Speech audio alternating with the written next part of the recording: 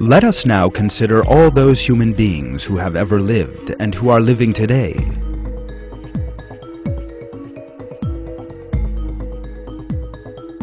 Every person has his or her own set of fingerprints.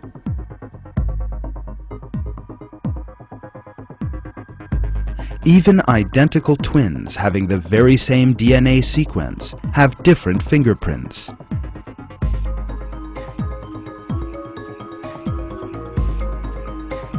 That is because there is a special formation in the fingerprints.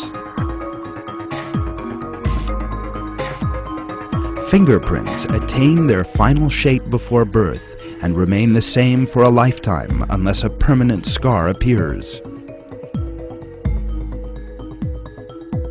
That is why fingerprints are accepted as a very important proof of identity, exclusive to their owner.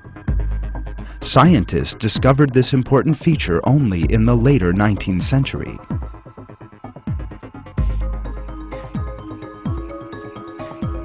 However, in the Quran, God points to the fingertips, which did not attract anyone's attention at that time, and calls our attention to their importance.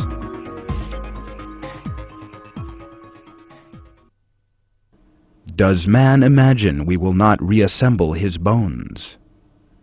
Yes, we are able to put together in perfect order the very tips of his fingers.